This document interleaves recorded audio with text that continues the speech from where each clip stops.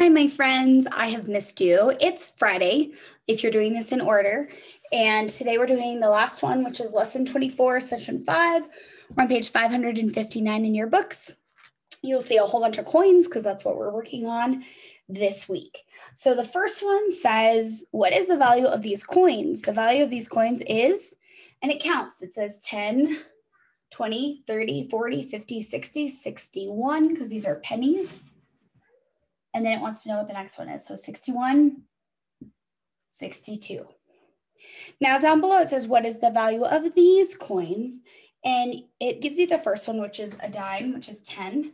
So we're gonna do um, the coins that have the largest value first, which is a dime over a penny. So 20, 30,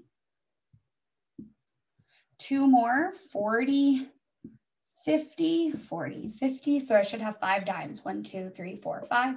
One, two, three, four, five. Check. And now I'm going to count by ones 51, 52, because pennies are worth one cent. So the value of these coins is 52 cents. Number three, what is the value of these coins?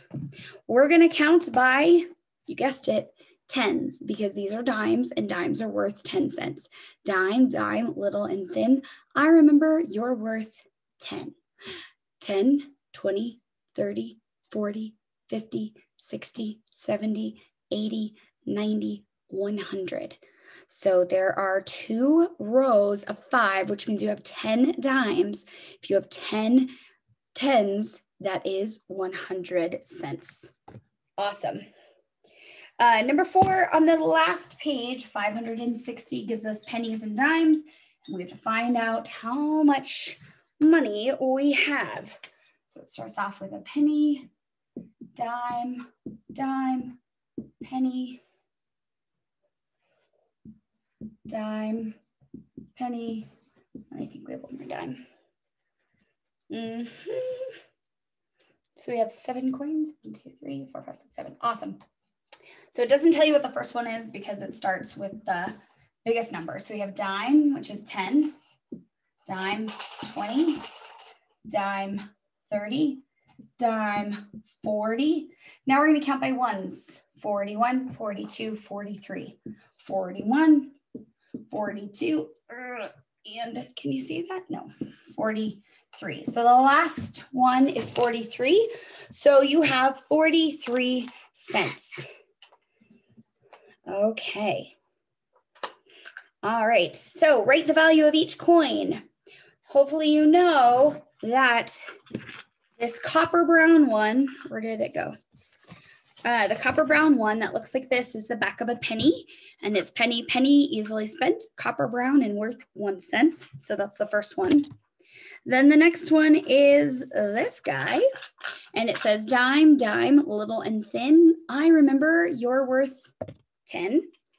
Next one is Thomas Jefferson. Thomas Jefferson is on the face of the nickel, and the nickel is five cents. Nickel, nickel, thick and fat. You're worth five cents, and I know that. The last one on your sheet is a quarter, and a quarter is worth 25 cents, and the quarter says this quarter, quarter, big and bold, you're worth 25 cents, so I'm told. Now the last one is number six and it says how many quarters are in a dollar. So if you remember quarters, like a football game, there's four quarters in a football game because it's one whole. So you have 25, 50, 75, 100. You have four quarters in a dollar. So on number six, you're going to put four and you're done. Hopefully this makes a lot of sense to you. If not, reach out and I am happy to help explain anything to you. All right, say. Bye. Say bye. I love you. Love you. Bye. trouble, trouble. See you guys later.